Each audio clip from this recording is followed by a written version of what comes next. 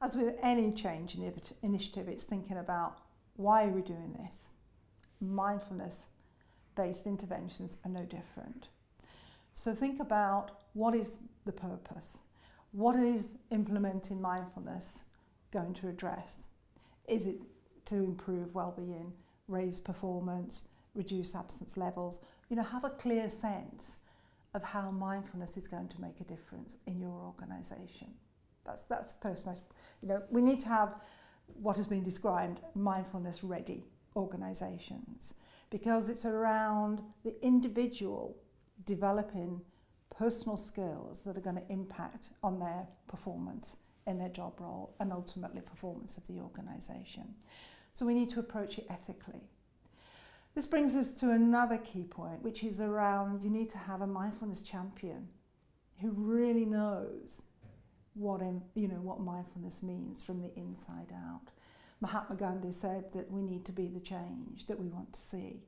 So mindfulness champions have to really engaged in mindfulness at, an, at a sufficient level of understanding to be able to communicate that in the language of the organisation. Because there are popular images of mindfulness as some kind of, you know, sitting on my cushion and apparently doing nothing. However, it's got organisational benefits, so you need to use the evidence. What evidence is out there in my arena that other organisations are doing that and what are they finding? How uh, did they approach it? And what's relevant to us in our context? And the book case studies are really brilliant for that. They give you a sense of a smorgasbord of approaches, which I do, you know, I love that phrase, which means you can see what is actually going on, what they're doing, how is this appropriate to us? How are you going to engage stakeholders? You know, there are organisations and social entities made up of lots of different peoples with lots of interests, power, etc. What are we going to do in terms of engaging them? Give them a taste of mindfulness. So it's very much approaching evolution, not revolution. It needs to be experienced. So have taster sessions. Do it gently and go with care, as I think the SMG case study talk about mindfulness implementations. And then it's about, are we going to measure this? You know, it's the great, you know, search for the holy grail in organisations with HR initiatives and implementing X, Y, Z and the impact on performance. What's going to count? There are measures out there we see in the book, or rather in the case studies, particular measures that are really well, you know, well tested. So the mindfulness attention awareness scale, the MACE, for example, or the Kentucky inventory of mindfulness skills. And we define what they are and what they measure. Are they relevant to us? Are you going to use performance data? So maybe absentee levels.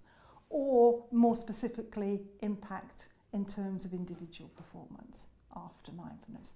Well-being is part of it, but we're implementing it in organisational contexts.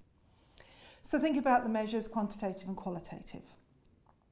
Okay, then think about who you're going to work with. So as well as the mindfulness champion, typically they work with an external mindfulness practitioner who's journeyed along mindfulness a few more years ahead. Okay, so who you need to approach that as someone describes it in the book choicefully. Okay, and then maybe it is a leap of faith because we often think we can do something strategically, systematically to bring about organisational change. But in a world that is absolutely complex, is uncertain, we don't necessarily know if mindfulness is going to make a difference. So you'll find that some champions, because they took passionately and they've experienced being able to make better decisions, feel better, be less reactive, less judgmental, more emotionally intelligent. These are all things that we want in organisations. So sometimes qualitative data counts.